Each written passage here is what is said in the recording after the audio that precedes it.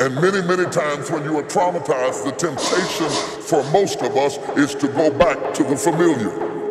Now, when I start talking about going back to the familiar, particularly in the church environment, we always think of backsliding and falling into sin. But sometimes it's not just falling into sin, it's falling into places that God has moved you out of. It doesn't have to be sin, but it's not for you.